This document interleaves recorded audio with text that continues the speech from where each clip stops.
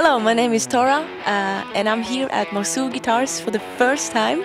Uh, first time in France, actually, and first time meeting Tom. I've been uh, playing his guitars for maybe two or three years now. Best guitars in the world. Um, and yesterday I played a gig here, and it was so much fun. It was beautiful. And today we are at this workshop, uh, playing guitar, having fun. Tom is gonna give me a tour, and it's it's beautiful. On a fait deux euh, modèles signature avec, euh, avec Tora. On a fait déjà une expérience qui a un modèle type Stratocaster et il y a un an, on a créé l'Élégante, qui est un modèle Telecaster. Et comme d'habitude, on fait des modèles sur mesure. Donc elle a choisi son bois. Pour son corps, par exemple, elle a pris du frêne des marais. Pour le manche, un érable torréfié ondé. C'est un érable ondé qui est cuit. Et à partir d'ici, on a la scie et on va commencer à travailler sur la guitare. I really didn't know what I wanted, um, but Tom was like, okay, check this out. uh, and I was like, that looks beautiful, you know.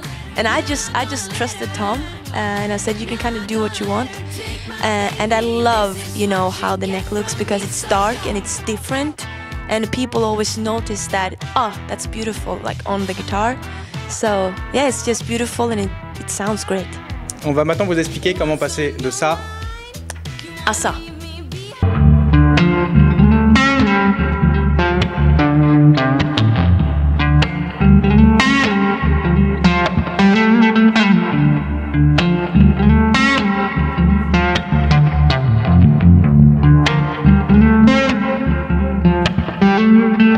I'm surprised. Like I have no idea how a guitar is made, but Tom has always sent me a, lot of pictures and videos from him building the guitars, so which has been very fun. Uh, so I'm just, you know, blown away uh, by this whole thing. It's it's beautiful.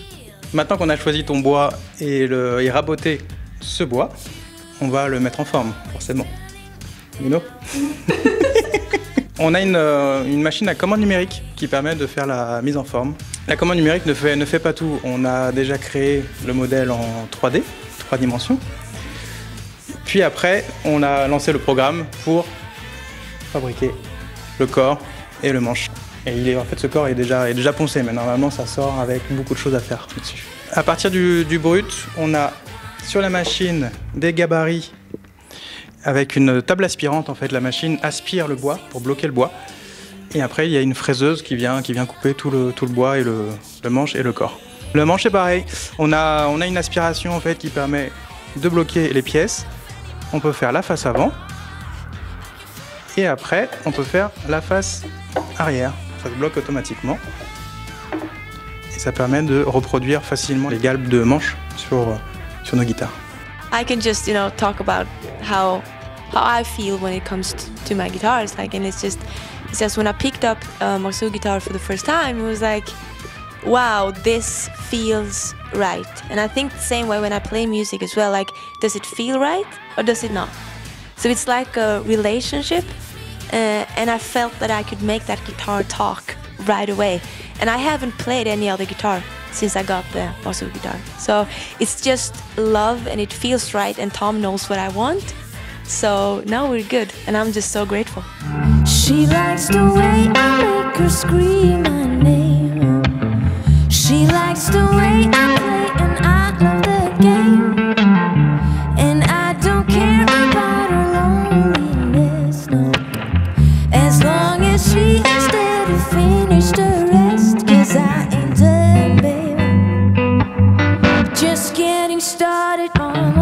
Évidemment, après la machine numérique, il faut poncer maintenant. Donc tu vas poncer. Ah Perfect. T'as voulu une guitare relique, donc on a fait un vernis cellulo. Commander une guitare relique, c'est l'avoir pré-usée à l'atelier avant de la, recevoir chez vous. On a plusieurs types de reliques, plus ou moins usées, avec la castillage qui est usé. Pour Tora, la castillage est usé, le vernis est craqué aussi. On, fait des coups de froid et de chaud pour faire craquer le vernis. On va refroidir le vernis pour qu'il craque.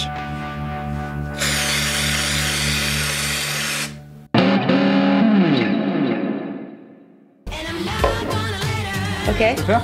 Should I try? Ah! Okay. Close? Okay. More, more, more, more, more, more. more. Ah! more, more, more.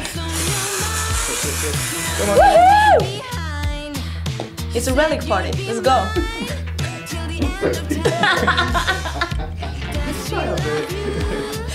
was it good? No. Was it? Good? I'm going home. Yeah, that was a relic party. Boys and girls, theys and thems, gays and straight people who like to slay. it just keeps doing No, Tom, stop!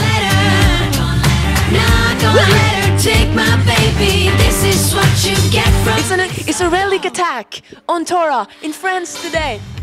Oh no! We have to run away from Tom. He's okay. He's okay. I can be a angel now. now.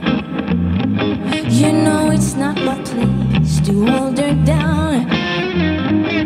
And it's hard for me to take a stand when I would take her anyway that I can. Ici, du coup, on fabrique les- l'électronique et les micros.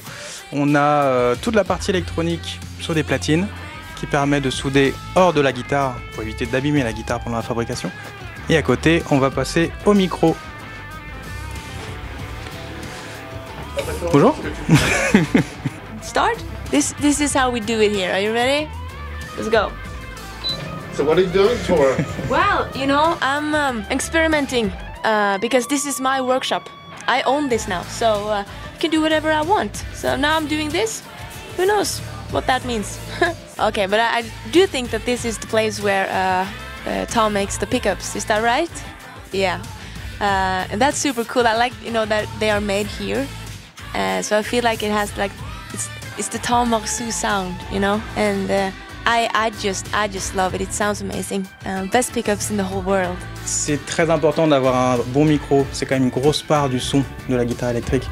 Euh, chaque choix de d'aimant, de fil euh, est très intéressant.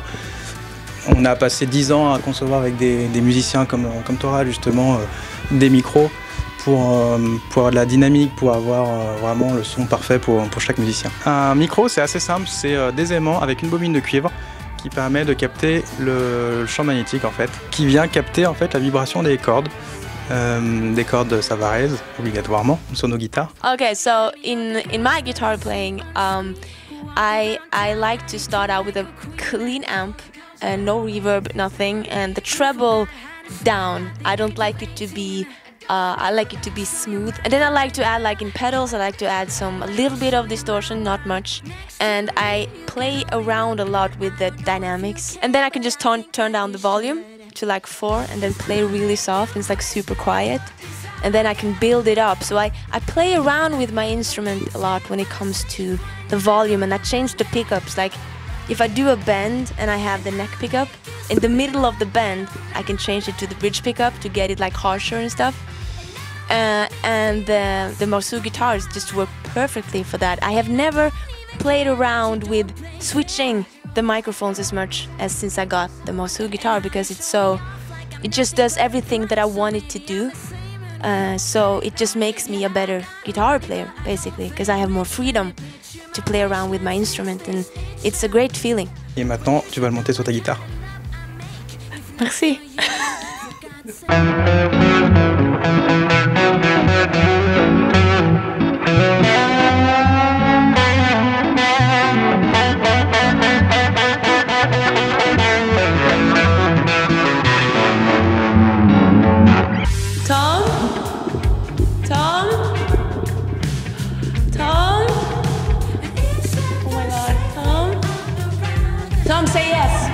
my god, the weather is crazy at Mosu Guitar. This is just like the craziest place in the whole world.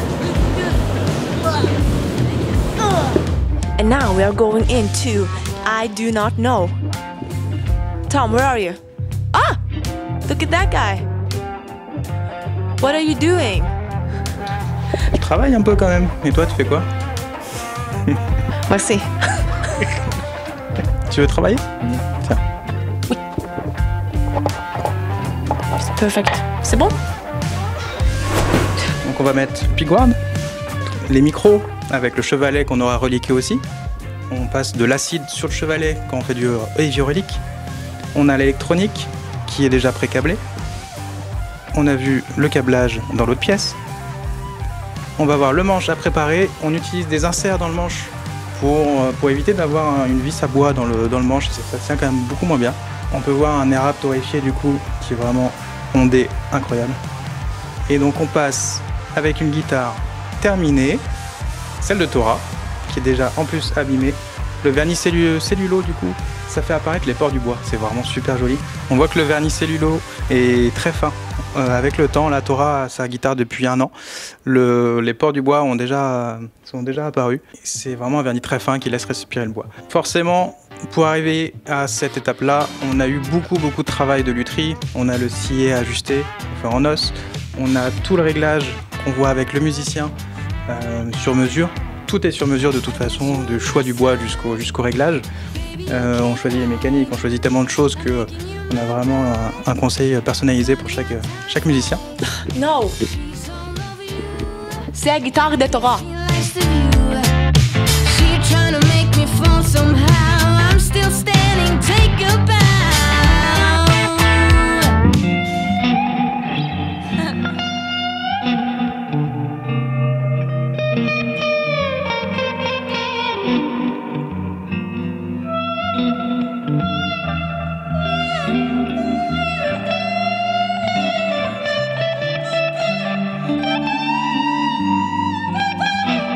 Comme euh, on fait de- aussi de la, réparation, à la base on mettait des cordes Savarez nylon sur les classiques, quoi qu'il Donc ça fait, euh, ça fait 12 ans maintenant qu'on monte de la nylon euh, Savarez, surtout de la Cantiga maintenant, et de la 520R parce que les gens connaissent bien la 520R. Et depuis 3-4 ans, on n'utilise que de la hexagonale en électrique, en basse, en basse électrique et en folk en acoustique. Donc on n'utilise que de l'hexagonal et un peu de focus pour, euh, pour certains clients. Toutes les guitares sont en 10-46 et après sur demande en fait qu'avant de livrer, si on veut un, tir, un réglage avec un, un tirant différent, il suffit juste de demander à la commande en fait. En 10-52, la preuve avec, euh, avec la Torah en 56. euh. Donc là, là ils nous ont envoyé de la, un tirant vraiment, euh, vraiment mon standard en fait pour la, pour la signature Torah. Bah, la corde c'est quand même super super important. Déjà faut pas avoir des cordes qui cassent trop parce que euh, les, gens en ont marre de, de, payer un jeu de cordes euh, 8, 10 euros, 12 euros parfois et les casser au bout de deux heures de jeu. Donc faut que, faut que ça réponde bien, toujours dans l'idée de nuance de, jeu. Euh, et avec Savaret justement c'est super, euh, c'est vraiment ce qu'on recherchait à un prix vraiment vraiment accessible en plus. Euh, je trouve qu'en termes de tarifs, ils sont super, super bons. Et euh, c'est du, du, fait France en plus, donc euh, il n'y a aucune raison en fait de ne pas, de pas utiliser ces cordes-là en fait. Merci beaucoup Tora d'être venu dans le, en France déjà. Ça faisait deux ans qu'on travaillait ensemble et pourtant tu n'étais jamais venu. Donc tu as pu voir l'atelier, tu as pu faire un super concert hier au Musicam avec, euh, avec Savarez. Et merci beaucoup pour ta confiance, c'est vraiment super. Thank you. Thank you, Tom, for inviting me. This has been so much fun. Uh, so here we are with my two signature guitars. Um, and I've been playing this live on stage uh, every single concert. And uh, now I'm in the studio these days in Norway recording my third album uh, with these guitars. And we have a single coming out on May 27th. Uh, it's going to be a taste of what's to come. And I hope that you will check it out when it comes out. Uh, and yeah, thank you again. Merci beaucoup. Croissant, je m'appelle Dora. Merci. Oui. Thank you.